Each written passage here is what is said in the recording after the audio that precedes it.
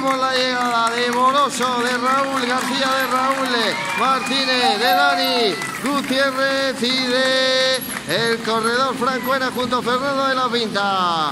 Ahí está ese final en la línea de meta para ellos. Subo final, vaya aplauso que se han llevado, ¿eh?